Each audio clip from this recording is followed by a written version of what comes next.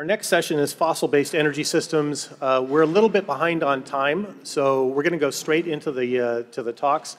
Uh, we've got three really interesting uh, talks, one about ionic liquids, which is really important in terms of uh, making materials that can do very good separations, very efficient separations uh, in terms of CO2. Uh, we have a talk that will fold economics as well as technology into it, which is a critical piece because if it's not economic, it's never going to happen.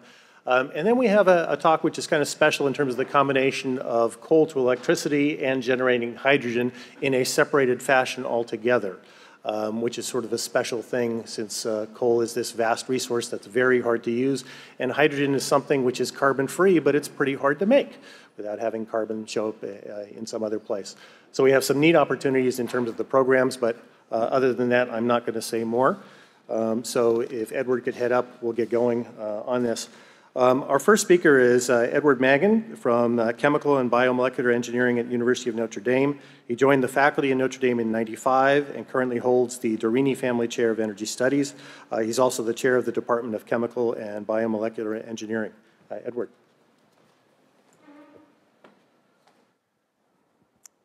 Uh, thanks very much. It's really a great pleasure for me to be here uh, to tell you about some of the work that our group has been doing on um, looking at ionic liquids for uh, CO2 capture and separations. And so I'm here to report the results of our, of our team. I show you a picture here of some of the faculty and students involved in this effort.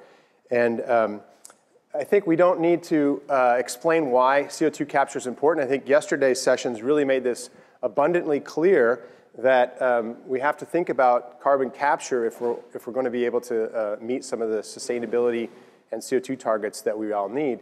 And the typical way that people think about this is in terms of um, thinking about coal. And certainly CO2 capture is important for coal. Coal is a huge uh, uh, available resource. There's a lot of uh, coal reserves and installed base uh, of coal-fired power plants, and we know that fossil fuels contribute or make up about 85% of our, of our base energy load. But I'd like you to think about CO2 capture in, in other aspects as well. Um, we know about shale gas is also now becoming um, uh, a very important element for our energy mix. And although natural gas has a lot less uh, carbon intensity than coal does, we still have carbon emissions. So we replace uh, gas-fired uh, power generation for, for the dirty old coal-fired power generation, but we still produce CO2. And so you could think about needing to do capture of CO2 from these situations. Um, the flue gas and effluent is a little bit different from coal-fired power plants. Um, and then I, I, really like Thomas's talk yesterday. I borrowed his uh, image of this uh, about the, um, the reduction of CO2 to make fuels or to make chemicals. And the obvious question here is, where's this CO2 going to come from? You're going to have to do a separation if you want to be able to do CO2 reduction as well. And uh, the other thing to think about is, uh, if you want to do CO2 reduction catalytically, how are you going to get the CO2 into solution? And I want to show you some work on ionic liquids that may be a, a very good uh, liquid solvent that can uh, generate very high concentrations of CO2 to be used in catalysis.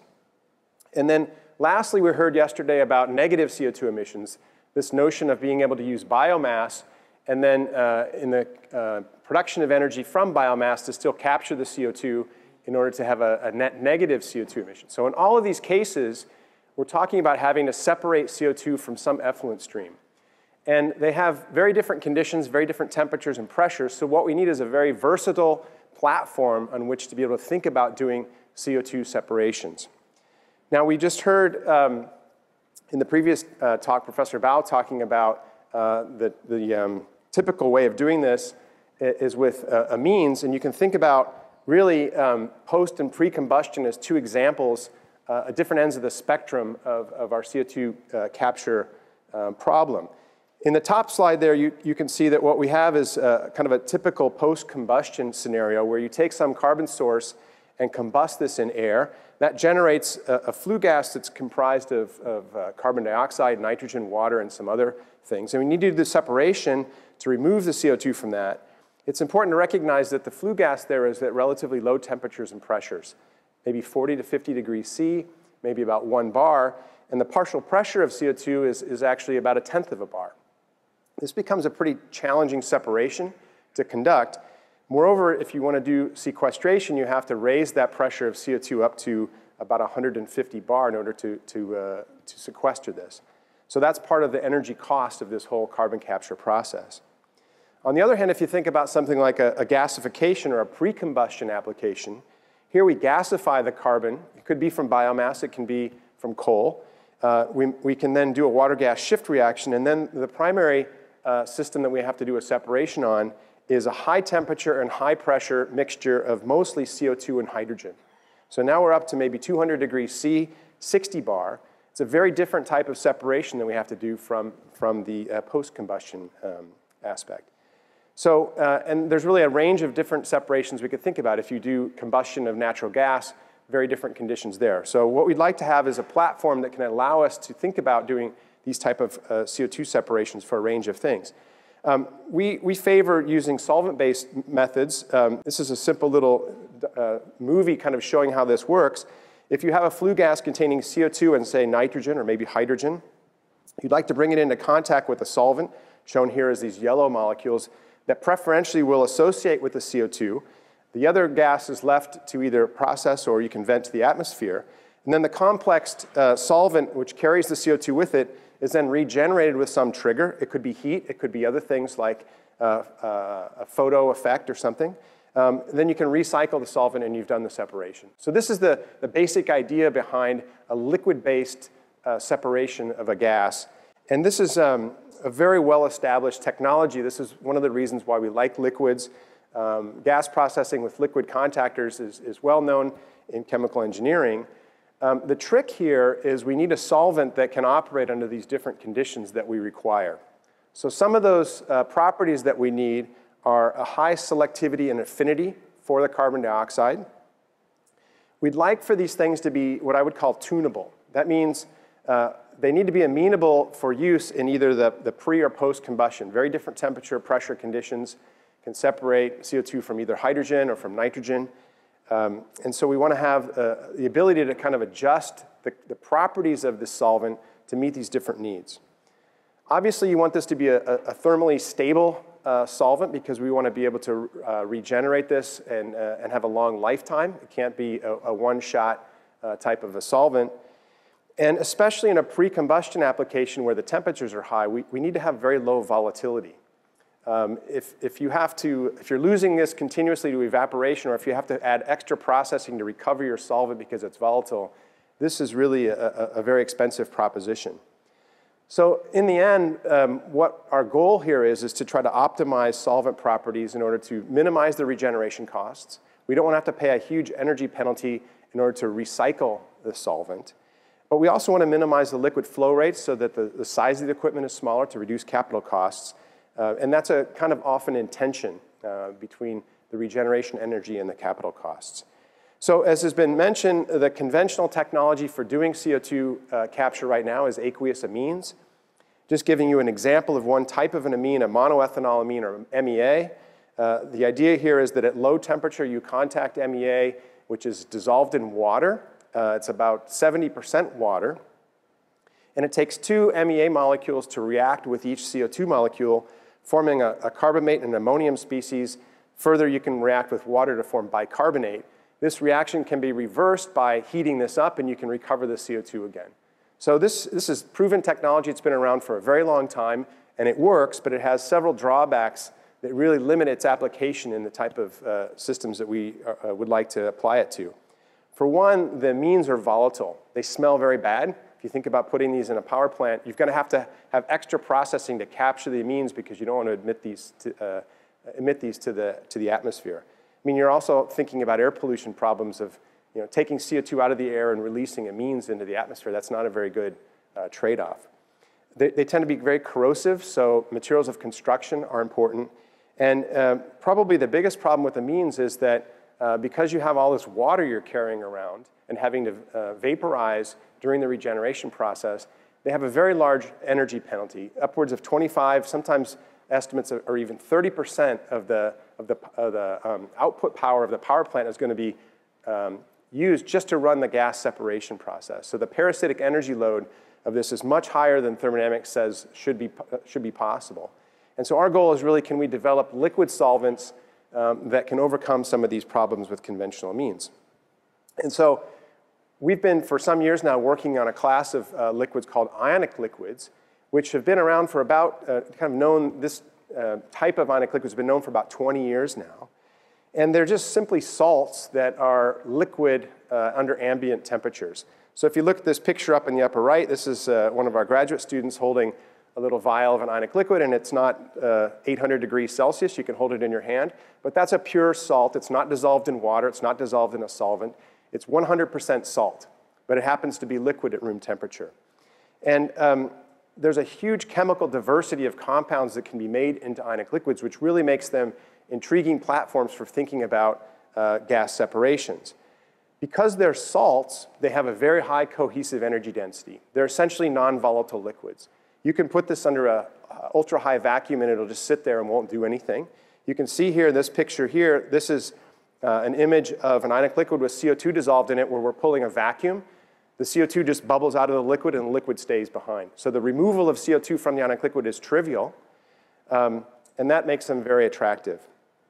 They tend to be non-corrosive. We don't have to use water. We can use these in an anhydrous manner, so we don't have to carry around the excess water baggage. And uh, this plot here shows that they actually have uh, an intrinsically high physical selectivity and solubility for CO2. This is a plot from my colleague Joan Brennecke's experimental work showing you uh, the mole fraction of, of the gas versus uh, pressure at one temperature. The red symbols are CO2, and you can see oxygen and nitrogen are down here with very, very low solubilities. So already you have a solvent that, this is sort of a stock uh, pyridinium-based bistriflamide which has a very high selectivity for CO2. The other thing that's important, and I'll come to this in a bit, is we can uh, design these to, to even chemically react with CO2 to get even higher selectivities. So our approach in the GCEP project has been to follow this, uh, what we call model-guided discovery. And Ed Rubin, I think the next speaker is going to talk a little bit about how you do process modeling to try to understand the economics of CO2 capture. We think it's very important to start with process modeling, understand the nature of the process, and what are the properties of your solvent that are most important that are driving the costs.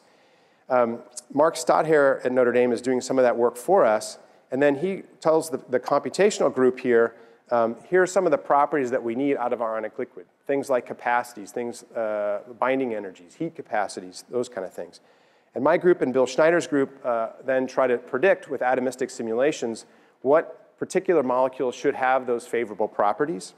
Brandon Ashfeld in chemistry will then make those molecules, and Joan Brennecke has the capability to measure the thermodynamic properties, gas separations, and all the different properties as well. And then through an iterative process, we try to optimize these things so that we're not just kind of randomly synthesizing molecules and throwing them into the lab, but we have some intelligent design involved in, uh, um, I guess intelligent design is, a, that's not the word I was looking for. Um, we have a, um, a good idea of what we're trying to make here. So let me tell you a little bit about some of the computational methods that we, uh, that we use. Um, we like to be able to predict isotherms of CO2 and other gases in the ionic liquid from first principles. And to do that, we use atomistic Monte Carlo simulations. Uh, the basic idea here is we have a liquid phase shown here in the upper left, coupled thermodynamically, although not physically, to a gas phase. And we use a series of stochastic Monte Carlo moves to satisfy the phase equilibrium condition. And we can do that for a given set of temperatures and pressures, and then we get a, a single point on an isotherm. Typically, that means we have to simulate hundreds of these ionic liquid molecules in four to five nanometer periodic systems. These are now fairly standard kind of calculations that you can do uh, a matter of uh, days to get a full isotherm. So we can start from drawing a molecule on the computer to getting an isotherm in really less time than it takes to synthesize and measure it experimentally. And we can do this in parallel fashion on uh, lots and lots of these at one time. So we now have a capability of doing rapid screening of, of ionic liquids for um, their th uptake properties. And this just gives you an example of some of the things we can do. I'm showing you here uh, two different ionic liquids. On the left is something called butyl methylimidazolium bistriflamide. The cation here is a butyl methylimidazolium. On the right is a very similar ionic liquid, it's just that there's a hexyl chain instead of a butyl chain. These two were chosen because there's an awful lot of experimental data on CO2 uptake in these ionic liquids, and we wanted to benchmark our calculations against that. So here we're plotting pressure as a function of mole fraction of CO2 at different temperatures. And there's a lot of information on here. Um, bottom line here is that uh, the simulations are quantitatively capturing the experimental isotherms And we're not fitting to the experiments. These are purely predictive calculations. One of the most important quantities for us to get right is the enthalpy of absorption. And uh, for physically dissolving CO2, that ends up being between 12 and 16 kilojoules per mole experimentally, and the simulations are able to capture that quantitatively. Um, we can also do hydrogen. So if you're thinking about pre-combustion applications, we'd like to understand hydrogen solubility as well. Hydrogen is much less soluble in the ionic liquid than CO2. Um, here, there's also less experimental data. It's a very hard measurement to make, but there is some. And so again, for the same two ionic liquids I showed on the previous slide, you can see different isotherms. And the simulations here are now at different temperatures. Um, interestingly enough, these lines correspond to different experimental sets of data. There are four, three of which agree with uh, one another and one which doesn't, one which predicts hydrogen is much more soluble. Our simulations agree with the other three uh, sets of experimental data. So in some sense, the simulations are helping us provide a check on the consistency of literature data that maybe doesn't always agree with with uh, each other. The other thing that's interesting to me anyway is that uh, the calculated and experimental enthalpy of absorption is actually positive for hydrogen in an ionic liquid. If you think about a free energy argument, that means that entropy is what's really responsible for the solubility of hydrogen in, that, in the ionic liquid. And this is typical of very low solubility gases. Uh, what that means is that unlike CO2, if you heat the liquid up, the solubility actually increases. And we're able to capture that positive enthalpy in our simulations, and it's been observed also in the experiments. So what you'd really like to do now is be able to do the selectivity calculation. Uh, we don't want to just think about pure CO2 or pure hydrogen. So we've done that, and this table has a lot of numbers. I don't expect for you to, to look at these uh, and see that. I just would like to point out one thing about this is for these two different ionic liquids, uh, the selectivities that we compute are on the order of, say, 45 to 50 for CO2 over um, nitrogen. And this is based on just physical dissolution of um, the CO2 and nitrogen into the ionic liquid. We can calculate an ideal selectivity by just fitting the, the pure isotherms to a, a simple model and, and, assuming that these things don't interact with each other. And that actually gives us very good agreement with our computed selectivities. An important thing to point out, however, is that if I just made the approximation, which is often done in the literature, the experimental literature, that the ratio of the Henry's law constants gives me the selectivity, I would greatly overestimate the selectivity. You would estimate that it's on the order of 70, when in fact the selectivity is more like 50. And um, this is really, I think, one of the benefits of these models is that you can test these type of predictions because mixture experiments are, are much more difficult to conduct than the pure gas experiments. And so we didn't really have good information about this. Um, so let me move on and talk a little bit about increasing the capacity of the uh, ionic liquid for CO2. These physical solvents I've been talking about previously are very good uh, if you have high pressures and low temperatures. But in cases where that's not the, the situation, um, the capacity of these liquids is going to be too low. So you'd like to add reactive groups in order to increase the capacity. And I just show you here a, a, an experimental plot again of mole fraction of CO2 versus pressure for a physically dissolving ionic liquid. This is the one I was showing you on the previous slides. And what you can see here is that you have to go up to very high pressures, 10 bar, to get a mole fraction of about 0.3 uh, for CO2, but that's occurring at 10 degrees C. As the temperature increases, that uh, capacity drops dramatically. And if you're operating around uh, a tenth of a bar like you might in a post-combustion capture application, you really aren't dissolving any CO2 at all. So you need to add uh, chemical reactivity to increase the capacity. And the obvious question is how strong should you bind? If you bind very strongly, you're going to have to pay a larger energy price to remove the CO2 and regenerate the solvent. So we'd like to try to maximize the capacity. Um, calculations done by Bill Schneider has helped us figure out how to do this. Um, what he did is he, he looked at the relative free energies, uh, or reaction energies, for CO2 binding on a conventional monoethanolamine. And he based this as a zero energy reference state. So what he did is he added CO2 to MEA, and the first CO2 um, bound, and uh, he called that a zero reference energy. And then he went ahead and did the deprotonation reaction to form the carbamate and the ammonium species, and calculated that energy and set that as a reference. So what we call this first step, when you can halt the uh, binding of CO2 after the first case, is a one-to-one -one binding. One amine for one CO2. The two to one binding, though, involves a deprotonation reaction and it takes two amines for one CO2. And we know that this is the, the mechanism that's operational for MEA. So then Bill did a calculation where he added an amine group onto a cation of an ionic liquid, a pyridinium, and he found that relative to MEA, the first binding event is slightly uphill, and the second binding event is very negative, minus 71 kilojoules per mole for the deprotonation. So the prediction is that if you put an amine group on a cation, you'll see the same two to one binding that you see with conventional aqueous amines. Surprisingly, however, um, if you put the reactive group on the anion, in this case an amino acetate anion, uh, it's downhill for the first binding event, but then it's a big uphill, 71 kilojoules per mole, to do the deprotonation reaction. So you can arrest the reaction here at this first step if you put the reactive group on the anion. And this basically doubles the capacity uh, of CO2 in the ionic liquid if you put the reactive group on the anion and not the cation. And this is unique to ionic liquids, and so that's what we've done. We've also built a little model that's a, a very simple uh, single-site Langmuir type model that says, all right, we're going to bind a CO2, one CO2 to one anion. Um, if you can compute basically the free energy, you can calculate the equilibrium constant, you can get the, the isotherm, basic thermodynamics. We uh, estimate the free energy by just calculating the translational entropy of CO2 in the gas phase and saying that that's what delta S is for this reaction. And then we compute the bond strength delta H. So for different delta H's, you can get different characteristic isotherms. Here is what the model would predict for 50 kilojoules per mole binding. At low temperature, you get almost one-to-one -one binding, and then as you raise the temperature, uh, the binding decreases. So the idea here would be you could uh, capture CO2 at low temperature and low pressure, and desorb CO2 at high pressure and high temperature. And that would be, the delta there is the capacity of your solvent.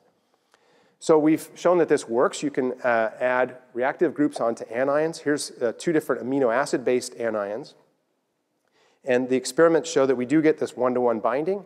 Uh, and the, the uptake isotherms are really consistent with the first principles predictions. And we've confirmed the mechanism here with calorimetry and vibrational spectroscopy. And we think we understand the chemistry of these systems really well. So this really led us to develop this kind of class of ionic liquids having aprotic heterocyclic anions. These are examples, pyrrolide, imidazolide, and pyrazolide, that can do this one-to-one -one binding, and we can tune the binding strength by changing the R group functionality uh, along the uh, ring. So here's an example. If you take something like a pyrrolide, there's a reactive group here at this nitrogen center, and if you just have basic pyrrolide, CO2 will react and bind quite strongly, 110 kilojoules per mole. This is the, the prediction. You can add electron withdrawing groups around the ring. So in this case, a cyano group at the three position, the binding goes down to minus 70. If you put a little bit closer to the nitrogen group, now at the two position, you're down to about minus 50 kilojoules per mole. And so uh, our process simulations tell us that minus 50 kilojoules per mole is a sweet spot for some of the applications. So we went ahead and made this two cyanopyrrolide system. And sure enough, experimentally, we see exactly what we would have predicted from the models. We see this kind of Langmuir type isotherm. So this is now experimental data. And then as you go raise the temperature, the, uh, the capacity goes down. Experimentally, we're about minus 43 kilojoules per mole. So the, the calculations predicted minus 49. This is pretty reasonable agreement with the experiments. And I didn't talk much about this, but um, we can also show that the viscosity of these things doesn't change when you react it with CO2, which is different from amines. The viscosity of amines goes up considerably when you dissolve them in CO2. So over the course of this project, we've made uh, a whole bunch of these different ionic liquids. Um, and here are all experimental isotherms for a bunch of different anions with one particular phosphonium cation. And so you can see from indazolide, which has the highest binding of minus 54, we get very rapid saturation at low pressures. Whereas if you go down to uh, 124 triazolide or 123 triazolide, these have lower binding energies of, say, minus 37, minus 40, and the isotherms are much flatter here. Um, so we can kind of dial in the uh, binding energy depending on what we want based on these kind of calculations. Now, um, I should tell you that maybe the simulations aren't perfect. Um, what we found was that we're not able to quantitatively predict all of the isotherms uh, perfectly well. We're using a very simple model. We have a, a, gas phase anion, and we're just calculating the delta H of reaction uh, of a CO2 reacting in the gas phase. Um, what we observed uh, experimentally is some different isotherms here for um, four different ionic liquids, and the, the observation is that the, um, this is a pyrazolide anion, should bind the strongest, followed by this uh, 2-cyanopyrrolide, and then a 1,2,4 triazolide, and 1,2,3 triazolide should not bind very strongly at all. Um, unfortunately, the calculations didn't catch that trend. We did see that the pyrazolide should be the strongest binder, but we missed the fact that 1,2,3-triazolide uh, doesn't bind as strongly as the other ones. So in this case, our simple model was breaking down, and what we realized we had to do was add more reality into the model. So what we did is we did um, uh, first principles ab initio molecular dynamics simulation of the cation-anion pair in the gas phase. So this is uh, showing that the anion interacts very strongly with the cation, as you might imagine. And this has a profound effect on the reaction chemistry. And I won't go into the details of this other than to kind of cut to the chase and show you uh, the result here. Um, here's an example of uh, one, this would be one, uh, three, four um, triazolide with a CO2 bound to it interacting with um, a particular cation. And what you can see here is that the, the bond length here between the CO2 and the anion uh, depends upon the interactions that the anion is having with the cation. And this in turn affects the, uh, the binding energy. The plots on the left show you different distributions during the course of the simulation of the distance between the CO2 molecule and the anion and the anion and the cation. And what you can see is it's very dynamic and the energetics change because of the interactions between the anion and the cation. If we put that added realism into the model, what we can find is that uh, we do get the proper order of the adsorption now by um, using this ion pair model. So this gives us a better um, uh, uh, result. Um, just real quickly now, um, we also have been able to uh, try to simulate um, the, the reaction in the, in the formal condensed phase, not just an ion pair in the gas phase.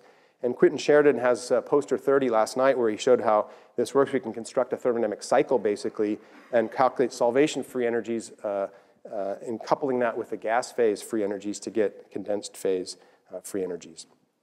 The last thing I'll mention is that um, we're working on coming up with cooperative binding uh, models where we can uh, get beyond the sort of Langmuir model. The Langmuir model is nice except you, you have a sort of delta pressure or delta temperature that sets your given capacity. What nature has done uh, is use cooperative binding, for example, in hemoglobin, where you can get sigmoidal type uh, isotherms. So you have multiple binding where the first binding event uh, makes the second binding event more favorable. That leads to this sigmoidal type uh, isotherm, and now you need much smaller either pressure differences or temperature differences to get a given capacity. So we've made a whole bunch of different ionic liquids with two to one uptakes that we hope will have this type of cooperative binding event and very recently, we me measured some of the isotherms for these. And for this particular system, we do start to see upwards of two uh, molecules of CO2 binding for each ionic liquid, and evidence, uh, although uh, not quite perfect, of some sigmoidal shape in this isotherm. So we're pretty excited about that. So um, just to quickly summarize, we've designed ionic liquids that have uh, both high CO2 capacity and can be tuned over a wide range of energies uh, to make them suitable for a, a different types of uh, CO2 separations. Um, and what we're working on are, are improving the computational methods that can help us uh, choose other ionic liquids and looking at cooperative binding events. So uh, finally, I just want to acknowledge, uh, very grateful for the support of GCEP that's allowed our team to come together. Uh, and here's some pictures of my uh, co-PIs. Brandon Ashfeld did all the synthesis. Joan Brennecke did the thermodynamic property measurement. Bill Schneider, the quantum chemical calculations, and Mark Stadtherr, the process modeling. And thanks very much for this opportunity to present our work.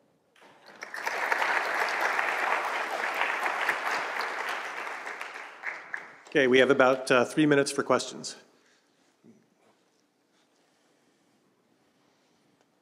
So what's the stability of the ionic liquids in the presence of water and especially water at high temperatures and then also SOx and NOx? Great question. So for water, um, some of the ionic liquids we, we find will, will um, reprotonate, the anions will reprotonate in the presence of water. Um, the ones that I was showing you here don't do that. The cyanopyrrolide in particular, the one um, where we've done most of our work, we've done very extensive tests with water. In fact, all of them are stable in the presence of water. The problem is the presence of water and CO2 uh, because the acidic environment is, is, can, can, deactivate them. So the, the, answer is some are stable, some are not stable, and, and uh, we're trying to understand that. SOx and NOx will react with the reactive amines, and uh, very hard to get them back off uh, once they react. So in any kind of an application, if you have a lot of sulfur, you'd have to have a desulfurization step before you would want to do the CO2 capture. That's, that's kind of our current thinking on that. What kind of pressures are necessary to uh, get the CO2 to desorb? So um, typical, if you look at the isotherms that we have there, um, we want to we want to desorb them at as high a pressure as possible because then we have to take this up to pipeline pressures. We can um, desorb these things at around 140 degrees C. The ionic liquids are still stable. And uh, the pressures then are a few bar at that point, and you can get good capacity. Uh, we don't want to go to vacuum at all. The, the economics of vacuum for these systems is, is not good. So uh, we want to absorb them at uh, always above atmospheric pressure and desorb them at higher pressures and just use temperature as the driver. But in principle, you could use vacuum and do this at lower temperatures. It just turns out that for this particular system, it looks like the economics are better if you use higher temperatures and higher pressures. That's assuming, of course, that you have to compress the CO2 back up to pipeline pressures. Okay, One last quick one. I've heard that uh, ionic liquids are very difficult to manufacture and worth more than their weight in gold. Um, So do you envision that these uh, may have some of those same uh, cost uh, uh, challenges? Yeah, that's always an issue with, um, you know, these are new molecules. Many of them have never been made before. So they are worth their weight in gold when Brandon is making, you know, milligram quantities of them with his very talented graduate students. Um, the idea, though, is that these are not particularly exotic materials. They're carbon, hydrogen, nitrogen. Um, and so that if you were to make these on scale, the cost will go down. I'll tell you that Petronas, uh, the Malaysian uh, oil company, has just installed a process where they're doing mercury removal with ionic liquids, and they're using um, ton quantities of ionic liquids in that process. Uh, the ionic liquids have been stable for a couple years.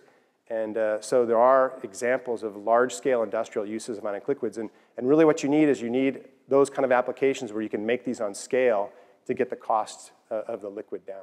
But we're very cognizant of that when we're designing these things. We're, we're trying to avoid any kind of exotic materials that will really drive the cost up. Great. Thanks again, Edward.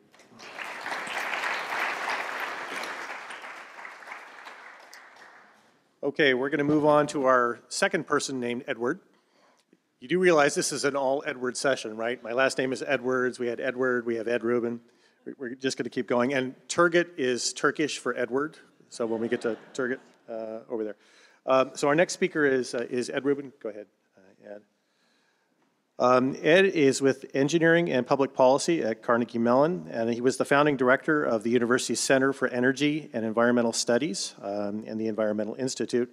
Uh, in addition to his uh, very active research agenda, uh, his activities include roles as the coordinating lead author for the IPCC Special Report on Carbon Dioxide Capture and Storage, advisor to the state of California and uh, province of Alberta on policies for CCS, board member of the UK Research Center, and an author of the recent National Academy Studies on America Climate Choices. Sorry? Cut that out and add it to my time.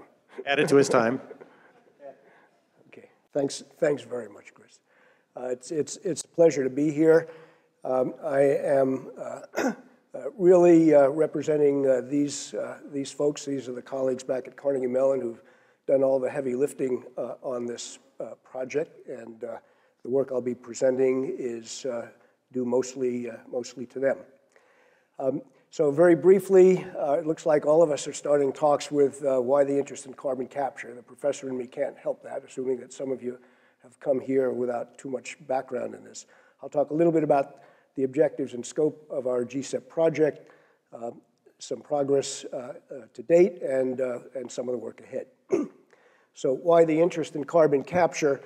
Uh, in addition to uh, Ed's comments and others, again, the fundamental motivation is climate change and the fact that we need not small reductions, but large reductions in CO2 emissions uh, in order to achieve those goals. If we were talking about 5 or 10% reductions to solve the climate problem, we would probably not be talking about CCS.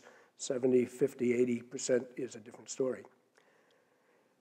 Fundamentally, CCS is the only technology available that we know of uh, that can address carbon emissions from the existing use of fossil fuels, which are likely to be around for, for some time. So my, my view of it is, uh, is more of a, a bridging technology, something that uh, will uh, be necessary if we want to get large carbon reductions uh, fairly quickly while we're working on a long-term uh, sustainable future. Uh, CCS also turns out to be a major component uh, in all the modeling studies that are done uh, globally. when one looks at cost-effective strategies to meet climate change, every modeling group uh, who's looked at this shows that without CCS on the table, the costs of achieving climate goals will be substantially higher than without. Trillions of dollars are typically estimates that, that come out of that.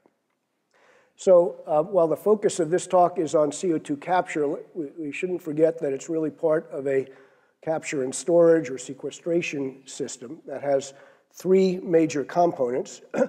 uh, first, the, uh, the ability to capture CO2 from power plants and other industrial sources that produce it. Uh, again, the CO2 might arise from coal combustion, but it might also arise from natural gas combustion or the use of biomass, so-called negative emissions. Uh, in order to sequester or store it in a geologic formation, which looks like the most likely uh, uh option right now, uh, one has to compress and transport it. And so the compression is typically needed to turn it into a, a supercritical fluid, essentially a liquid that can be moved by a pipeline to appropriate storage sites. Um, we're going to be talking about two major approaches. what we can do today, we've talked about and Ed set this up beautifully, post-combustion and, and pre-combustion. Here's a little more detailed schematic of what a post-combustion system would look like at a, uh, at a coal-fired power plant today. um, this is what most of the utilities look like without the CO2 capture piece. Uh, so the yellow box in the middle are a variety of uh, technologies to address so-called uh, criteria or conventional air pollutants, SOx, NOx, particulates, mercury. Um, and if one were to capture CO2 in a post-combustion environment, one would add uh, another piece of technology after that, upstream of the stack. And uh, as Ed indicated, the current technology that would, would do that job uh, is an amine-based system. We have CO2 at uh, low concentrations and low pressure. So this is a chemical uh, solvent, and its energy requirements are, are substantial. Uh, the pre-combustion system um, looks a little more complex. The CO2 capture piece here actually has two components. uh, there's a CO2 capture unit uh, toward the back here, which today would use a physical solvent. So here we have high pressures and relatively high concentrations of CO2. So rather than a chemical uh, solvent, one can use a physical sorbent uh, to, uh, to do that job at a much lower energy cost.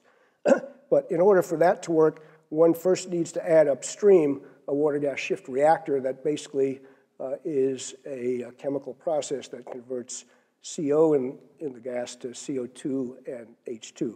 So uh, the CO2 capture unit is basically trying to work on a, on a, uh, a, a CO2 hydrogen mixture as opposed to the post-combustion, which is largely a CO2 nitrogen mixture at much lower pressures. Again, the chemical that would be used today favorably is commercial called Selexol. It's a glycol-like substance that uh, uh, has been used widely in industrial applications. Um, here's what some of this actually looks like in terms of hardware. These technologies for both post-combustion and pre-combustion have been used um, at power plants, both gas and coal-fired power plants, the two on, on the left, at scales uh, roughly an order of magnitude smaller than a commercial plant today. So these units are in the order of a couple of tens of megawatt uh, electricity uh, uh, equivalent. Uh, hydrogen production uh, plants, or this particular one uses a, a Selexol system to essentially do the same separation, except the hydrogen is, is used to make chemicals instead of, instead of electricity. Um, here are photos of two newer developments. Uh, the one on the top is, um, would be fair to say, a big deal. Uh, this is the first uh, large-scale demonstration of post-combustion capture at a coal-fired power plant. It's what the community has been waiting at, uh, at least a decade uh, for. Uh, in this, Canada won, won the lottery on, on this one, the, the SaskPower Boundary Dam facility at 110 megawatts. There was official inauguration on this uh, just two weeks ago. The plant started up a month ago. Uh, the CO2 capture unit is in the, let's see if I can get the, is this, uh, this unit in the foreground. Uh, so this is now operating at 90% uh, capture, and uh, for the first month or so, so far, so good. The picture on the bottom is a unit still under construction uh, that is now scheduled to start next year rather than this year. It's a large uh, gasification plant that uh, the Southern Company is, is building. Um, and it will uh, capture uh, CO2 using uh, Selexol uh, as, a, as a solvent uh, at a scale of 600 megawatts with uh, about 65% capture. So we're starting to see in these two examples and others that are planned in, uh, in Europe, uh, the first large-scale uh, implementations of that. if that's the good news, this is the bad news. They're expensive technologies. to one significant digit in, in, a, new post-combustion plant, adding an amine system would increase the cost of generating electricity at that plant by roughly 70%. the incremental costs are lower for uh, gasification combined cycle and natural gas plants, but still quite significant. And uh, in terms of an absolute cost of electricity, uh, we're at different baselines. Uh, we're talking about CO2 capture in this meeting because most of that cost is associated with the capture part of that system. Transport and storage, well, those costs can vary depending on site specific. They're roughly on, on the order of 20%. So if you want to make a uh, a big dent in uh, CCS costs, uh, you've got to go after the capture process. And there are lots of uh, uh, ideas for how to do that. Uh, this is a slide from the Department of Energy showing a variety of options that are being pursued in different scales and, and some notion of their timeframes for, for, for success. I was happy and delighted to see GCEP join that process a couple of years ago uh, a uh, request for proposals uh, sought advanced carbon capture processes and consist consistent with the GCEP philosophy, looking for, and these were words, step out game-changing improvements, big improvements that could have big impacts in, in the next several decades. And as a result of that solicitation, uh, three projects were selected. Uh, Ed's project at uh, Notre Dame involving ionic liquids, uh, Randy's project at uh, Northwestern involving metal organic frameworks, and uh, Jen Wilcox's project here at Stanford involving some novel activated carbon solvents. so what am I doing up here? a year later, there was another RFP asking for uh, development of a systems analysis framework to, to be able to evaluate uh, novel processes, these three in particular, but others in general, uh, in, uh, in the context of some uh, rather rigorous criteria that GCEP had put in the original proposal for what they'd like to see in these advanced processes. Um, so um, we were selected along with uh, Chris Edwards' group here at, at, Stanford to, to work on a uh, systems analysis framework that could be used to get some quantitative uh, metrics for just how these advanced systems would fare relative to uh, baseline systems in, in the context of full uh, power systems. Um, the approach we had uh, uh, proposed and, and have been following is to build on some prior work we've been doing uh, with a lot of support from the Department of Energy. with that support, we've built a, a modeling framework called IECM is the acronym, if you Google it, Integrated Environmental Control Model. It's essentially a uh, an easy-to-use uh, model of a single uh, power plant, could be coal-fired, gas-fired, biomass, and it basically includes all of the environmental control systems, not only for air, but also for water, because water use is another uh, issue here in solid waste. So it's, it's basically a full-blown mass and energy balance uh, with uh, engineering economic models and the ability to handle uncertainty. We propose to build on this framework uh, as a tool that we and then others could use to uh, uh, ask and quickly answer a whole variety of what-if questions. What if I could create a material that had these characteristics and so on. So the overall approach is uh, basically to uh, couple uh, engineering process performance models with models of cost engineering economic models in a, in a systems framework that has a probabilistic capability so one can look at uncertainties in a, in a fairly rigorous way to identify both risks and, and opportunities, uh, and hopefully in a package that, uh, again, is easy to use and uh, uh, and portable so others can, uh, can play with that. So the software package, if you were down to download it today, uh, is one that uh, has a graphical user interface behind which there's a lot of stuff. Uh, you bring to the model uh, information on the design of the power plant that you're interested in, fuel properties, some cost factors, and the model delivers information on process performance, emissions, and, and costs. Uh, so uh, when this project started, we had uh, in it already a whole suite of technologies uh, a number of CO2 capture, baseline CO2 capture systems that we had worked on, some other things we're doing for DOE, and a whole, uh, whole suite of uh, power plant and environmental control technologies.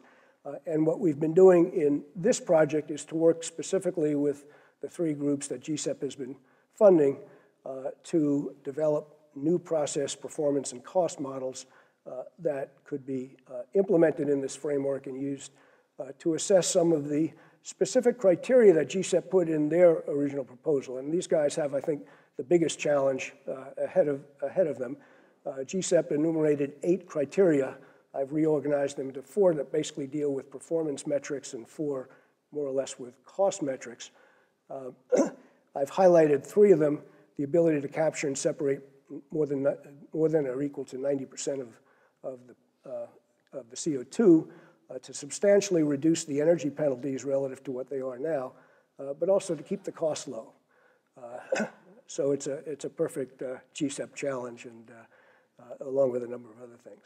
So our job is to try to figure out um, how things are going in these directions, and, and pro probably more importantly, to try to use a larger modeling framework to suggest ways that one can move more more effectively toward, uh, toward meeting these goals.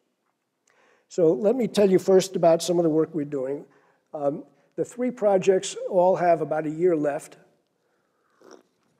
uh, as does our project. So we're, we're about halfway through the project. So this is really a, I intended this to be a, a kind of an informal uh, progress report to uh, uh, uh GCEP and others. let me tell you first about what we've been doing in in the area of post-combustion uh, capture. Uh, I should say, well, I think one of the slides got, mm, I lost a slide here. I should back up and say first that all three groups that I mentioned are still working actively on their materials. So they have not given us the formula, uh, the magic recipes yet for the materials they think will do the best job of that. Uh, somehow, either, maybe it'll show up later. A slide seems to been dropped. So what we've been doing is working with uh, what I've called surrogate materials, uh, materials that are similar in nature to the, to the materials that the groups are doing, but they're not, uh, they're not the, the last word. So uh, one of those uh, in, uh, in Jen Wilcox's project here at Stanford is looking at, and we heard a little bit about this this morning as well, some novel activated carbon sorbents, uh, these are basically solid sorbents that uh, might do the job. So on the, uh, on the left, these data points are some data that Jen was kind enough to provide uh, to us. And the solid lines are uh, fits to that data using a uh, conventional Langmuir equilibrium model that does a, a, nicer job down in the lower in the temperature ranges that are likely to be, be relevant. So uh, what we have basically is a model representation of, of, of that.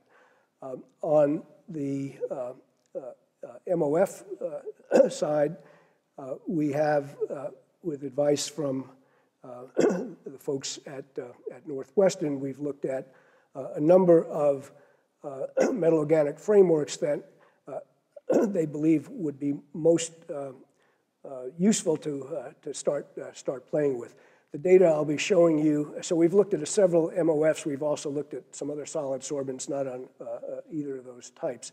Uh, so I'll show you some preliminary results in a minute based on, uh, this is a, a, a zeolite, uh, just call it ZIF78, uh, isotherms of the sort that Ed just, just showed. so here is basically CO2 uptake as a function of temperature and pressure. Uh, we'll look at a case study at 50 degrees Celsius, which is a typical flue gas temperature coming in, uh, using isotherms both for CO2 and, uh, and nitrogen, where you'll notice the scale is quite different. We wanted to start uh, as simple as, as we could, uh, and so the first model that we have put together is a, um, a three-stage, a three-step uh, process which involves adsorption and regeneration. It's a, it's a pressure swing uh, system uh, where uh, flue gas containing, in this case idealized as, uh, as CO2 and nitrogen, is fed into an adsorber uh, and then uh, when breakthrough occurs, the system's reversed and there's a vacuum that pulls out the, uh, the CO2 to, uh, to give a, a CO2-rich uh, rich product. Uh, one of the things you can see in, in, in this system, well, I think I have another slide here. I'm going to skip over the details. It's in there. here's a better representation. let's look first at the one on, on the right, on the left rather. Uh, these two lines, the blue line is showing CO2 recovery, which is basically the CO2 capture efficiency, uh, and the red line showing, showing the purity of the CO2 that's captured. Uh, the GCEP target is 90% uh, capture, and uh, for this uh, sorbent at this temperature, the only way to do that is at very low pressures, probably unrealistically low, but those are the numbers that would come out for a single stage vacuum uh, separation. so 90% purity, low pressure, uh, and uh, I'm sorry, 90% recovery, and the, the, the uh, purity levels are also uh, not, don't exceed about 70%. Uh, these two slides show specific work. This is um, energy per unit mass of CO2 absorbed and the sorbent required to do that. Again, we need to operate at low pressures is what comes out of the uh, uh, information here. So we've run a, uh, a preliminary case study using our, uh, our IECM framework uh, where we assume 90% capture in a single stage VSA system. Uh, we pressurize the adsorber to a little over atmospheric pressure, 1.2, and desorb at this very low pressure, but then compress the CO2 uh, to 135 bar, which is basically uh, pipeline, uh, pipeline pressures. Um, and here are some pr preliminary uh, results. Uh, let me just focus on this next to the last line, which is the net power plant efficiency. basically, there's a lot of energy needed not only to do the capture, but most, most importantly, to do the compression uh, if one actually had to go to these very, very uh, low vacuum pressures to, to do that.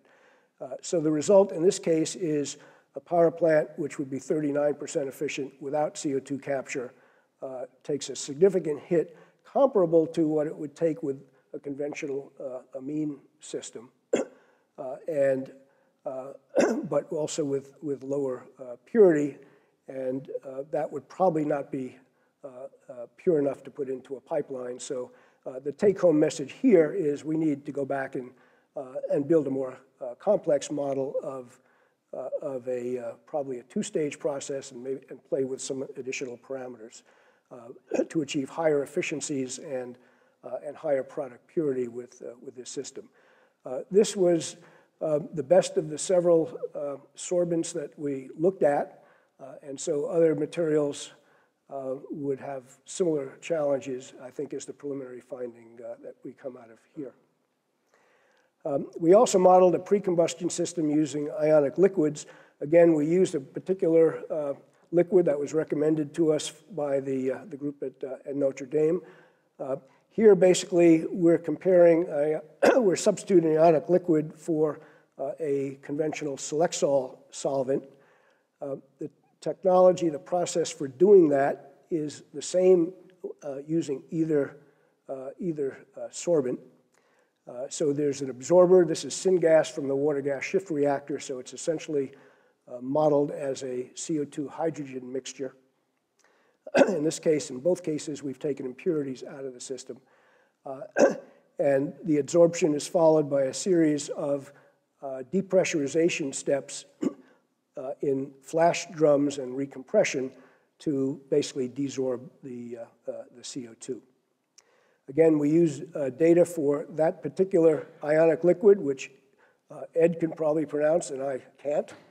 Uh, and uh, used it in a uh, preliminary case, case study where, again, we're looking for 90% uh, CO2 capture and taking a- an entire system compressed to 135 bar with an idealized gas mixture of CO2 and, and hydrogen. Again, uh, there are details of the process model that I'll put in the, uh, in the presentation, uh, but here's the bottom line in terms of the simulation of the overall power plant. Uh, This is the power just for the, uh, the unit I just showed you, and in this case, the ionic liquid actually, uh, it turns out to be about 10% better in terms of energy requirements than, uh, uh, than, uh, than Selexol. Uh, Not a huge breakthrough, but a step in the right direction, and we can step, we, we, we can look forward to other properties. Uh, Haibo Zhao, who did this work, also did some sensitivity analyses. We're starting to play around with this to look at uh, effects of ver- various design parameters. Uh, And what we really need to do, uh, CO2 removal efficiency, if one backed off the 90% target, moved down to, say, 85%, uh, actually, some things actually start looking better. So there's a, there's a lot of playing around that remains to be, uh, remains to be done.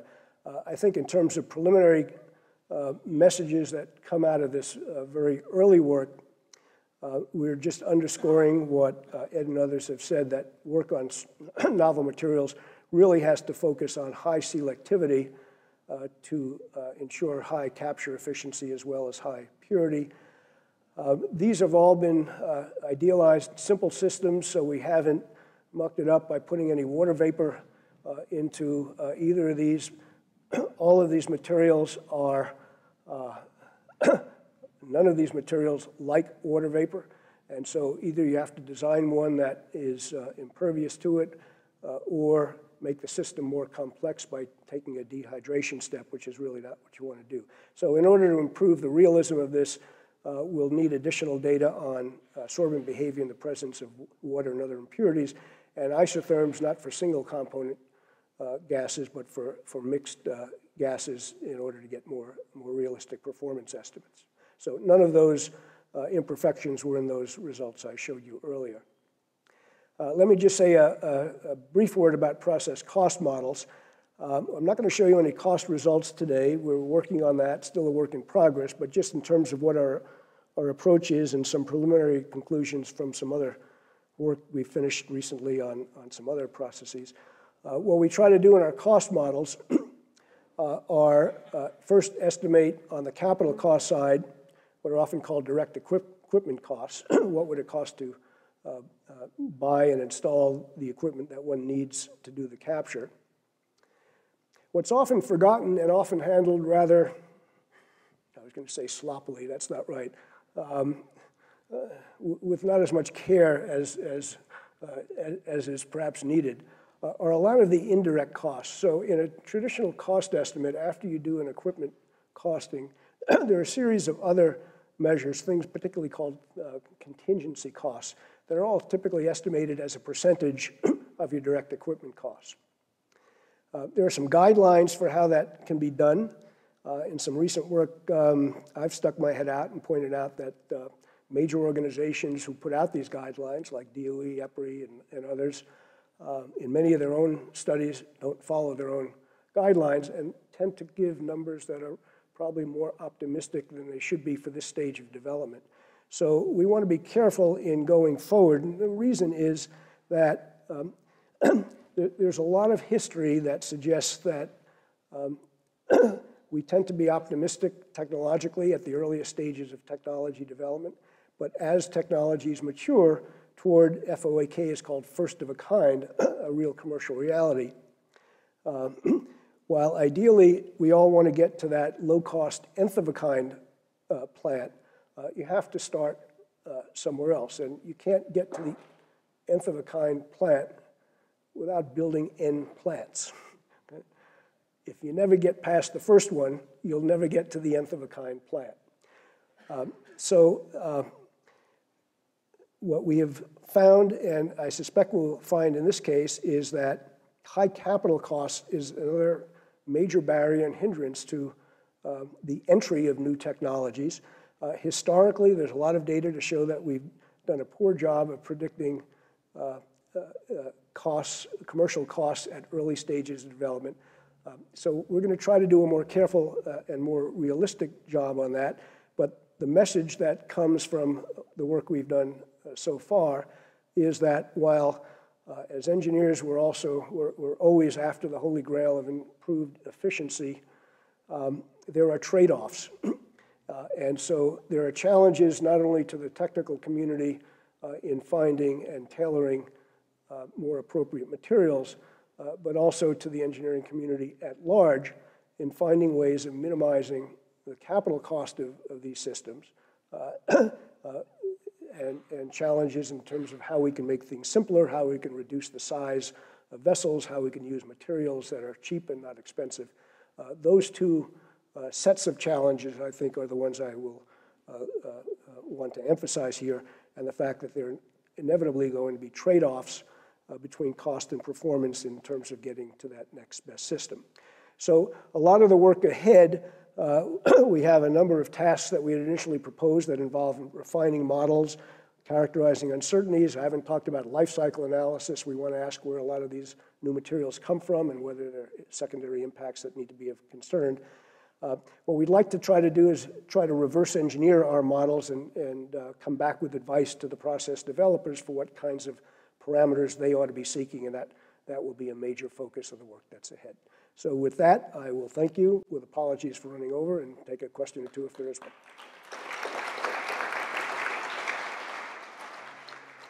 So we have a couple of minutes for questions. Sally? Oh, okay. Thanks. So you said high selectivity is important, but what's high? What, do you have a sense of what's high? What, you know, what would be a target that somebody should be shooting for? Uh, We, we didn't come with, with numbers. If we go back to some of the, some of the data that uh, we showed, it would depend on the particular material that we're, we're talking about. But, but the, the basic message is uh, we need to do a better job of getting higher purities on, the, on, on these separations. So when we see 70% as a maximum for that particular uh, sub, those are basically substances that are reported in the literature. It's not what people are currently working on. Um, What you really want is 90 and, and 90. Uh, So wh- what that backs into in terms of the particular parameter, we'll figure that out, but that, that's what we're, that's what we're looking for. Over to Paul. The, the effect of water vapor, I think, is going to be uh, a- an especially problematic one for, for a lot of these materials, and, uh, uh, yes.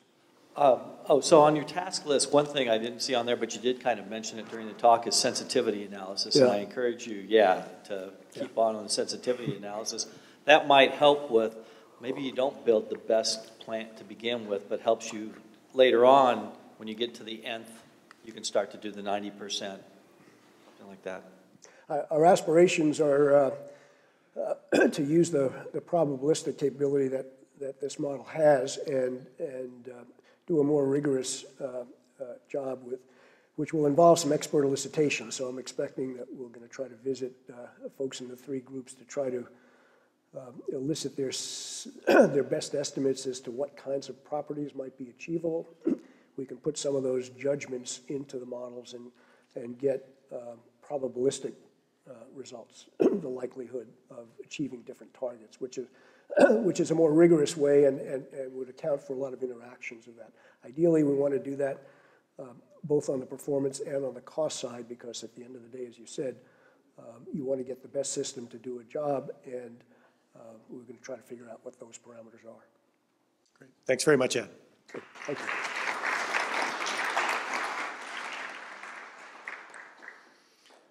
Okay, the last of our uh, speakers is Turgut Edward Gür. Uh, Turgut is a consulting professor of material science and engineering here at Stanford, uh, and executive director of Stanford's DOE EFRC Center on Nanostructuring for Energy Efficient Conversion. He served as the technical director of the NSF MRSEC Center for Materials Research, uh, as the founding technical director for the Geballe Laboratory for Advanced Materials at Stanford. Turgut. Thank you, uh, uh, Chris. Uh, I will go for Edward. Why not? Just to keep the continuity. Well, good morning, everyone. Uh, Thanks for coming. Um, it's a pleasure to be here. I'd like to thank Sally Benson and Richard Sassoon to uh, that gives us the opportunity to share with you our, our research work. Um, let me uh, recognize my coworkers, uh, the people on the first row actually are the ones that did the work. Michael Stewart is a postdoc. He's among the audience here carrying the microphone. Um, he, he, joined us about, uh, uh about uh, early this year. David Johnson is a, um, uh, is a graduate student in mechanical engineering. He's also in the audience. And I was, I'm pleased to say that that his poster got the uh, Honorable Mention Award last night, so you can see him as well as his poster out in the lobby. If you're interested, he's, he's mostly involved in the modeling aspect of the work that we are doing, so I'm pleased to, to hear that uh, we got mentioned. And Brandon Long is, a, uh, is also in the audience, sitting there in the back row. Uh, he's a, a, graduate student in chemical engineering uh, who just joined us about five, six months ago.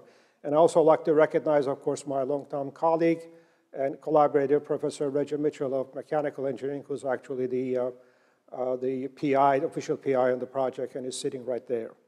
So um, without further ado, um, let me say that our, our primary focus uh, is, uh, is uh, utilization and conversion of solid fuels uh, in fuel cells in a more efficient and environmentally friendly manner. And of course, this, this um, presents uh, its own challenges, and I'll walk you some, through some, some uh, fuel cell concepts, how we will deal and handle solid fuels in a fuel cell environment, simply because a lot of the uh, conventional fuel cells uh, only handle uh, uh, gaseous fuels, and mostly hydrogen, and maybe a few and, based on, on, on, methane and other things. But, but solids, handling solids or utilization of solids in a fuel cell environment poses its own challenges. And so I will, I will uh, uh, walk you through some of these concepts. And, and of course, conversion into, uh, into electricity directly in a, in, in, a single reactor without actually burning them uh, provides major advantages. Uh, the ultimate goal, of course, is to go one step further uh, in this into complexity and, and deal with and, and, and convert coal, which presents its own um, a set of challenges above and beyond simple carbon or carbonaceous fuels like biomass does. So the, uh, the objective is to, uh, to convert a dirty fuel like coal into something uh, clean like electricity and hydrogen. And that's where the uh, GCEP project uh, comes in and makes it uh, possible for us to explore this particular exciting avenue. So why do we care about coal? Coal is, um, is um, um, um oops, I'm sorry, I'm on the wrong slide. Uh, coal is, um, um, is widely used. Uh, uh, it provides a lot of the energy uh, uh, globally and about 40% of all the electricity production around the world, partly because it's still a lot cheaper than even natural gas after the uh, shale gas discoveries. And also it's widely available and abundant in, in, in, in, in the earth. U.S. has the largest coal reserves, more than quarter of the, uh, of the world reserves. And most populous countries like China and India, uh, they have a, a large reserves of coal, and they are using this uh, uh resource for their technological and economic development. In China, about 80% of the electricity is produced from coal. And in India, it's still uh, slightly lower, but still uh, very, very high. Uh, in the United States, um, uh, we're using less of coal, especially after conversion of a lot of the coal-fired plants to natural gas, but still, we're, we're averaging a little lower, lower than 40% of our electricity coming from coal in 2012. That's the latest that I could find from EIA reports which came down from about 45% uh, from, from two years uh, before that, but it's not expected to go much further than that. It's about 37, 38% over the long run in, in the next few decades. And we should, and this trend is, is common to uh, around the world as well, as the world is going to use less in coal in sort of percentage of the share in electricity production. But that's not a very good criteria or the parameter to work on. Uh, I think we should look at the amount of coal that is actually being used, and the amount of coal is going to increase by 50% between now and um, uh, uh, 2040 or 2050 timeframe. So the amount of coal is, is, the, is, the, is, the, is what's going to uh, uh, be of concern to us. And you see in this graph, although uh, um, a lot of the renewables and natural gas derived uh, uh, power generation has uh, increased, it will be increasing or expected to increase over the years, but still coal will, be, will reign as the, as the dominant force in electricity production. And thinking that, uh, considering that uh, most of the coal-fired plants around the world now operate at around at the low 30% uh, uh, uh, conversion efficiency, only the new ones uh, that are coming online are about a little over 35%, closer to 50%, depending upon the technology that they adapt. that's still a very low conversion efficiency in terms of how we utilize it, but more importantly, as we've seen in the, in the previous talks, as well as in some talks in the, uh, uh, yesterday, that most of that CO2 that is produced is emitted as a small fraction of the flue stack gas composition. It's only about 10, 15% uh, of the flue stack is uh, CO2. Rest of it, or, or, or major part of it, part, portion of it is, is nitrogen. And we have all seen uh, the, from the previous talks how difficult it is to, to separate CO2, how energy intensive and, and costly that is in terms of separation. So there is a, there is a, a real incentive to, to think uh, differently about coal conversion. And of course, uh, uh, the fuel cells, what we call carbon fuel cells, provide a, a, a, major opportunity in that direction. Efficiency is, of course, the key. If we can, say, increase the efficiency um, optimistically, if we double it, then you can do the numbers, and, and it provides a, a huge incentive to uh, look into that direction. A carbon fuel cell, this is an idealistic uh, uh, depiction of a carbon fuel cell. What it is is a, uh, we have a, a, bed of carbon or coal in the anode compartment. Uh, it's a, this is a fuel cell element. Uh, on the cathode side, we have air. We extract the um, oxygen from the air, oxidize it to make oxide ions. We transport these oxide ions through an electrolyte. And these oxide ions uh, at the anode react with the carbon to form carbon dioxide, releasing their electrons. And those electrons uh, travel through the external circuit uh, to, uh, to produce electricity. And the only reaction product, as you see, is CO2. So uh, this electrolyte could be a ceramic electrolyte. It can be a, a molten carbonate or molten hydroxide, or even aqueous electrolyte. Nevertheless, the net reaction that we achieve is nothing different from burning it. Uh, carbon plus oxygen going to CO2. Uh, but we do this by extracting electrical work out of that system uh, while during this conversion. And the driving force for this reaction is about a volt. So we get about a volt of open circuit voltage in the, uh, in the fuel cell, which is pretty good.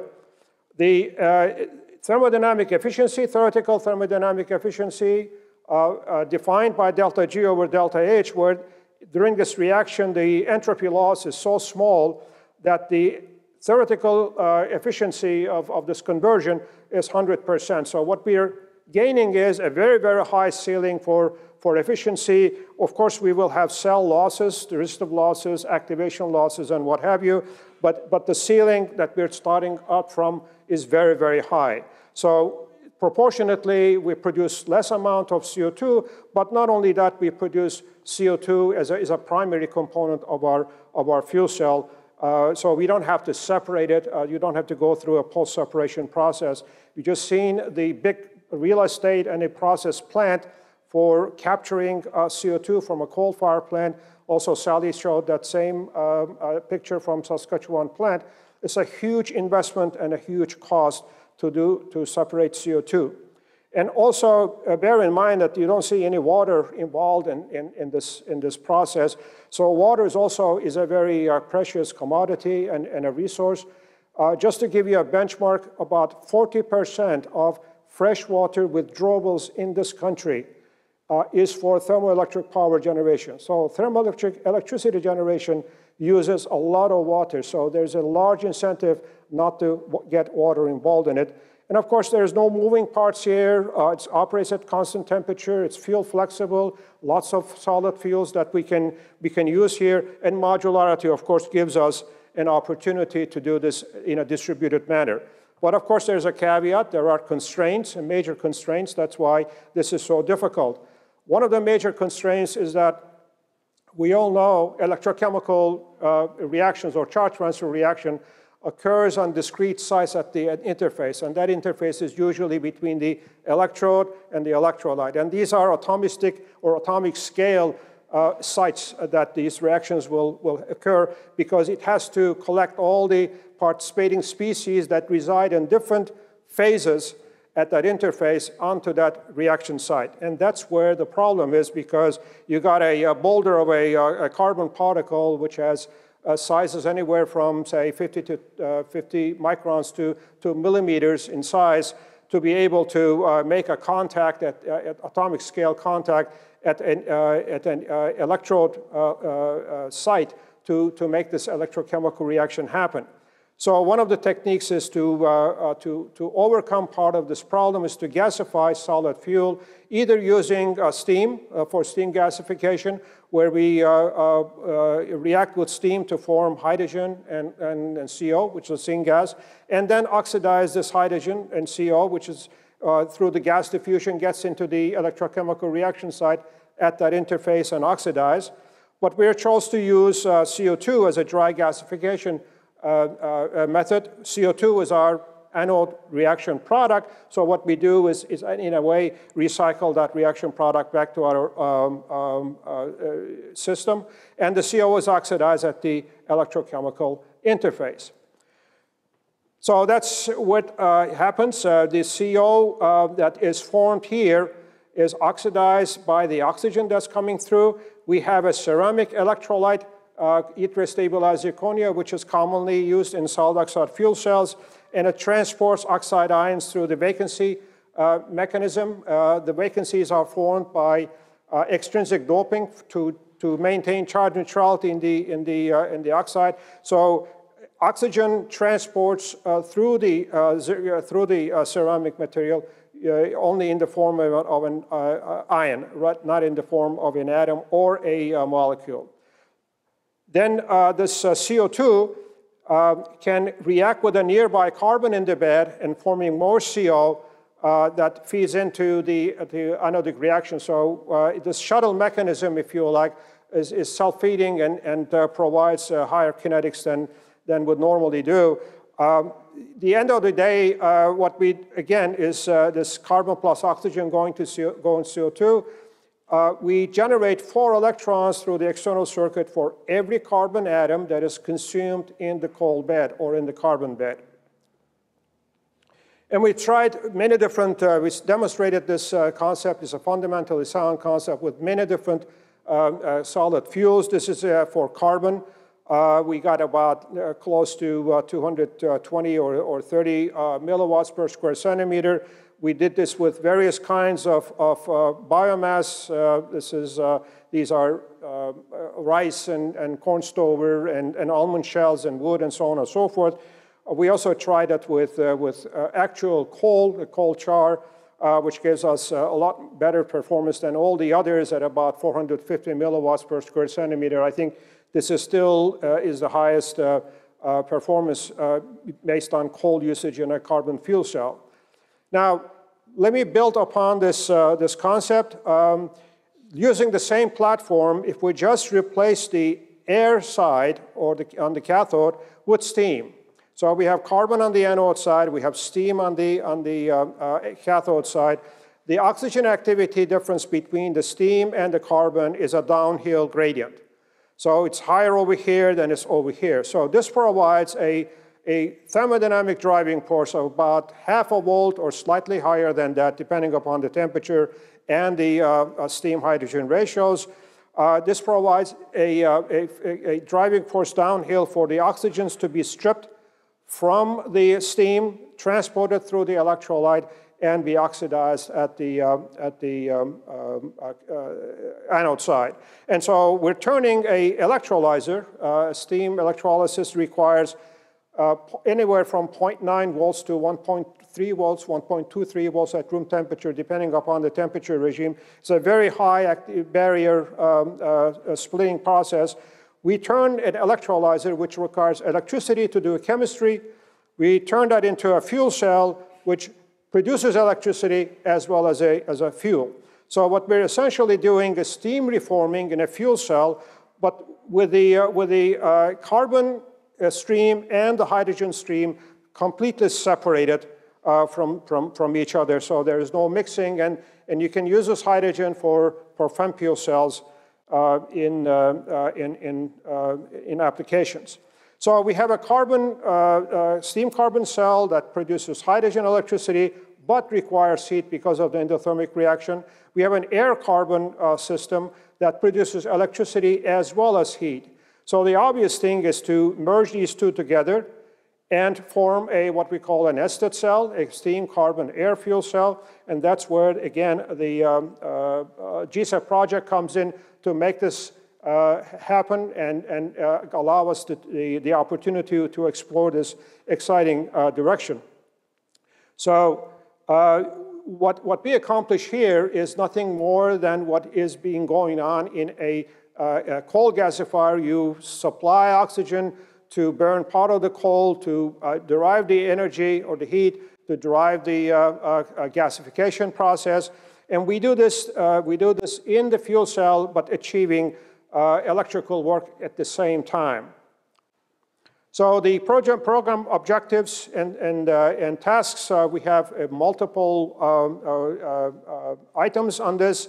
Of course, we're doing cell modeling for predictive studies and and uh, uh, David uh, poster yesterday and also still outside is, is focused on this modeling work. If you're interested, you can talk to him.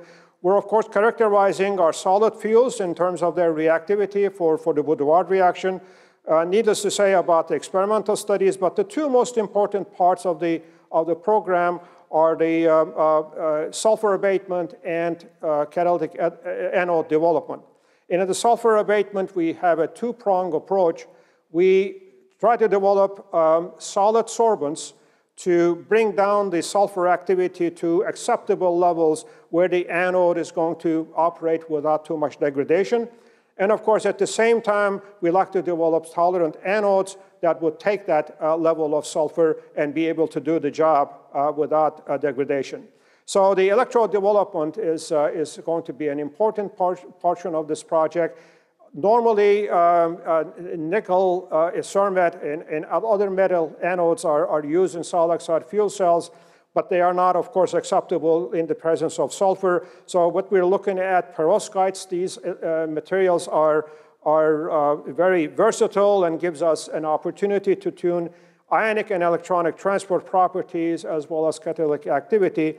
And uh, they provide us also with the doping strategies on the A side and the B side, um, where um, you can have multiple dopings if you like, uh, as long as you uh, maintain uh, or satisfy the Goldschmidt criteria to, uh, uh, to, to, maintain the perovskite structure.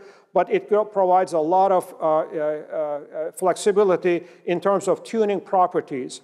And because of the versatility of this, this whole list of very interesting electronic, ionic, uh, and uh, dielectric and catalytic properties that these family of perovskites uh, uh exhibit, and I won't go into, into but many of them are, are actually uh, in, of industrial uh, interest and, and being used in the technology. So the two family of perovskites that we have identified so far are the titanate base and the vanadate base uh, uh, perovskites. They have not been really explored too much in the catalytic area. And there is some uh, uh, indication in the literature that these uh, perovskites would have some stability against, against sulfur contamination. They have good electronic conductivity. They have uh, reasonably matching um, thermal expansion coefficient. So we are hopeful that these will be a, a step forward in that direction. We already started making and synthesizing these things uh, and, and, and, and, doping on the A side as well as on the B side, uh, and characterizing them uh, with uh, XRD and XPS. I'm not going to go over all the details. And we started uh, uh, putting them into cells and making what we call MEAs, the, the membrane electrode assemblies. Here is the yttria-doped strontium titanate porous layer. Here is the zirconia electrolyte membrane. Here is the lanthanum strontium manganite uh, cathode layer. that uh, we have been able to um, uh, produce. But we are, we're still a ways away in terms of actual putting in a cell and actually um, uh, testing it in the presence of coal. So in the, in the sense of uh, the solid sorbent utilization, um, we have identified uh, some of the uh, sorbents that, that make sense from a cost point of view, as well as from their efficacy point of view, going through some uh, thermodynamic screening, both in the literature as well as ourselves. What we found is that, uh, yes, uh, you know, most of the alkali uh, oxides are effective solid sorbents, but they, the, their utilization is only limited to a very thin skin around the, around the particle because of the diffusion limitations. So the obvious things that people have tried is to uh, disperse them on, uh, on, uh, on uh, inert supports. Uh, what we like to explore is something slightly different. We like to try to uh, disperse them on reactive or consumable supports, like carbon, for instance. In the same manner as, as, as, the, as the fuel in our fuel cell, we like to load them onto carbon and, and gather the sulfur to levels roughly below 10 ppm or so that we think our, our, uh, our uh, oxide-based anode materials will be stable too. So this is a, uh, uh the SEM picture of a, uh, of a carbon fiber. Uh, we, we chose these fibers so that we could identify and see um, where we are in terms of their loading. It's easier to work with them rather than with powdered carbon or coal. Uh, here is after impregnation of, uh, of these fibers with the calcium oxide, calcium hydroxide, using a, an ammonia uh, as a dispersion. And you can see both on the surface, these uh, red marks or red coloring is due to the calcium uh, from the uh, backscattered electron image. It, it, both on the surface as well as within the bulk, we have a fair amount of penetration and impregnation of these into the materials. So lastly, um, um, just to summarize uh, the, uh, the modeling results, we have been able to um, uh, uh show that this is a very viable uh, uh, approach to both electricity and hydrogen generation, and you can tune in your um, hydrogen and electricity production demand based on, on, on, on, the requirements and, and demand of, the, of the market. And you can, you can do this in a very, very uh, efficient way. The primary efficiency that uh, we have calculated or uh, predicted uh, based on experimental values or experimental data is roughly about 78%, which is the primary efficiency of both conversion into hydrogen as well as into electricity. The electrolyzers, the alkaline electrolyzers for making hydrogen, they operate around 65 to 75%. So they are still efficient uh, and, and, comparably efficient. But if you uh, consider the, the round trip efficiency, the primary efficiency where they get their electricity from, if it's coal derived, it's about low 30%, which make the primary efficiency of that electrolyzer around 20% rather than 78%.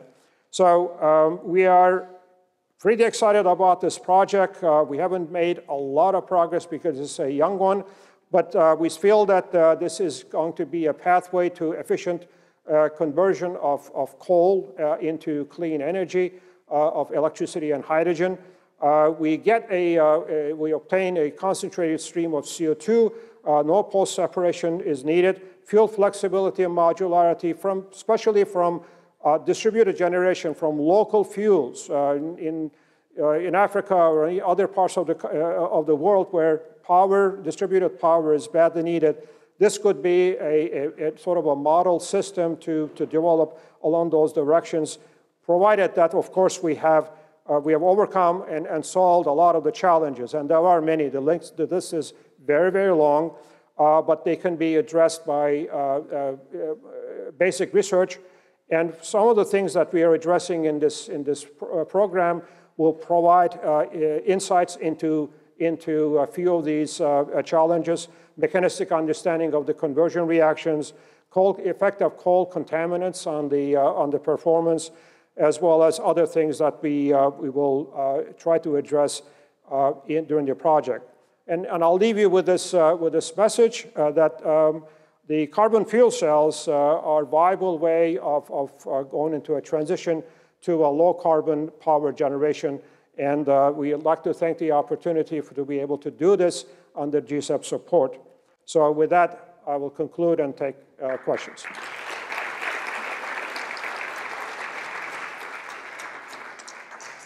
Thanks, Turgut. We have about four minutes for questions.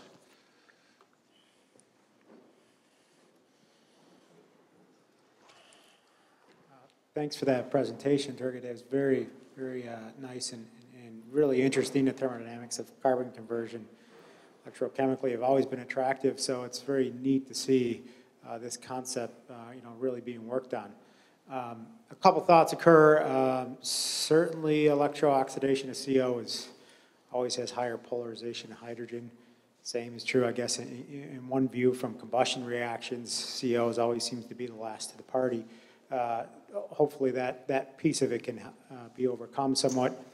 Um, the one, one question I guess to think about is uh, that I'm not quite sure is how you feed the fuel. It seems like it could be batch process. Uh, I'm not quite sure there. And, and the other piece um, would be uh, related to the fact that okay, yeah, sulfur is clearly important. Uh, it seems like there probably be some pre-fuel processing needed. Seems like there's roughly a quarter of the periodic table seems to be in a lump of coal. Um, so maybe there might be some pre-fuel processing as well. Your thoughts on that? Well, uh, let me first start with the CO. CO is, a, uh, is not a very uh, uh widely used fuel for, for solid oxide fuel cells or for any, any other fuel cells. And based on the uh, very uh, small single cell studies, yes, CO has a, has a high um, activation barrier versus compared to hydrogen. But in, in big cells that we have measured um, in, in, in sort of pro, prototype cells, the hydrogen and the CO uh, performances in the same cell uh, came about 5 to 10%. Uh, CO is, is, slightly lower than, than hydrogen because when you get into the large systems, you get the resistive losses that dominate more the, uh, the kinetics of it. In the, uh, in the sorbent area, um, we're hoping that in, in, in, a, in, a, in a steam-rich environment, uh, hydrogen is a very, very powerful gasifier. It reacts with many of the uh, elements that you uh, mentioned in the periodic table forming arsine and phosphine, you know, chlorides and so on and so forth. They're all volatile, so they diffuse and, and, and, and land on the anode. In a, in a hydrogen poor environment with a carbon rich environment, we're hoping that the volatility and the, and the gasification of these, uh, of some of these, uh, uh, you know, like arsine and phosphine, for instance, will be uh, uh, mitigated or, or diminished to a certain extent and that we will be able to capture some of that with a solid sorbent uh, in, the, uh, in, the, in the reactor. Now, this is a tall order, of course, and we, won't, we don't know until we try it whether uh, how much or, or how much progress we will make in that direction. But that's the, that's the, uh, that's the thought. Okay, we have time for one more. Uh, essentially, uh, this, you sort of covered the, the question a little bit, mentioning these other elements, arsine, et cetera. But um, I'm not sure the lack of hydrogen will solve the problem because in combustion of coal, uh, there are lots of these elements that appear in the normal combustion process in the exhaust. Uh, I'm familiar with catalytic sensors that are used in, in some of these processes for um, uh, CO measurement, and they actually have shown silane poisoning deep in the pores. So you'll have some issues with these kinds of elements. You know, the, half the periodic table is in coal. And I'm sure you're going to end up with lots of volatile silane, uh, um, hydrides that might end up in your, in, in, your. Uh, you're absolutely right, and that's very likely that will happen. Uh, with a slight caveat that the environment in our anode is a reducing environment, whereas in the, in the combustor, of course, it's more, more oxidizing. Uh, so I don't know whether that will make any difference in terms of the uh, gasification rates of these impurities into the gas phase to land on the, on the anode and elsewhere. We will have to see. But, but our, since, since the problem is so complex and so wide in terms of dealing with all the impurities in coal, uh, we selected the, the major one, the sulfur, as being a primary uh, sort of attack point, if you like. And if we can solve the sulfur problem, then hopefully we will have some headway into uh, dealing with the other impurities in time. Great. Thanks very much, Turgut.